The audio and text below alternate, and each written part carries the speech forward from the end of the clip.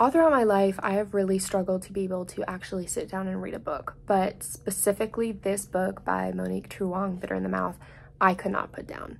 I struggle really bad with ADHD, but not once did I ever have to force myself to read this out of an obligation. There are so many things that I love about this book. I marked it up like crazy. Specifically, the thing that interested me the most was obviously Linda's synesthesia. Given the fact that she could taste words, created a really unique relationship that Linda had with language. I found it really interesting that in a way her emotions dictated her synesthesia. While this may not have been a point made on purpose by Truong, I think that it really represented how she felt in certain moments, specifically foreshadowing certain relationships that she had. For the word mom, Linda tastes chocolate milk. For Wade, she tastes orange sherbet. For Leo, she tastes parsnip, which is not a very satisfying flavor, in my opinion at least.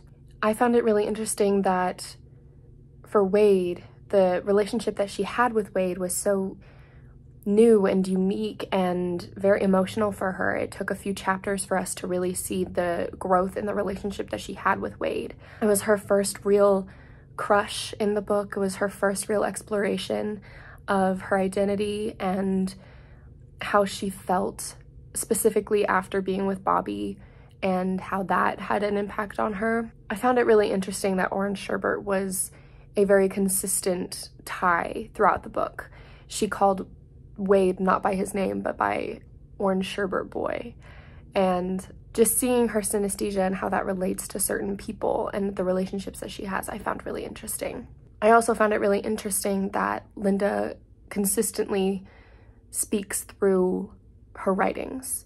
She obviously gets very overwhelmed by speaking, and so she remains quiet, but writes to Kelly in nearly 1,500 letters throughout the book even when she was communicating with Wade, before she could even admit to herself and admit out loud how she felt about him, she wrote down in a note and handed it to him, I missed you too. I feel this also strengthens the idea of her using literature to identify how she feels. Throughout the book, we see her bring in ties to history. She speaks of Virginia Dare, which I think personally I could have done a little less of. I did love the little tie into her and Kelly had their own Virginia Dare, but I did I did feel that the Virginia Dare storyline and some of the other historical storylines that she tied in were a little too much and it made her story a little confusing to understand.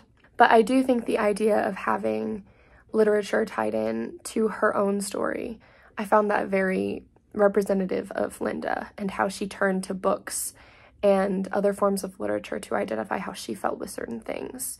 She used class names and classes that she's taken in college to identify how she feels with her family. Specifically on page six, she says, I would learn that bit of statistics in my sophomore psychology class. The American family at the end of the 20th century, dysfunction, dysfunction, what is your function? During my four years at Yale, I would gravitate towards classes with the word dysfunction featured prominently in the title or repeated at least several times in the course descriptions. In a way, I think she was using literature to understand her feelings and understand her emotions. Since her relationship with DeAnne was very damaged and very difficult for her to navigate, I think she reached for solid fact and the language that she could understand. She knew she didn't have a normal connection to her family. And at that point in the book, in page six, we didn't fully understand why she had such a dysfunctional family that she talked about. As we learn later in the book, given the fact that she was adopted and given the fact that DeAnne had admitted that she didn't want children, it leads more to understand why Linda felt that her family was dysfunctional.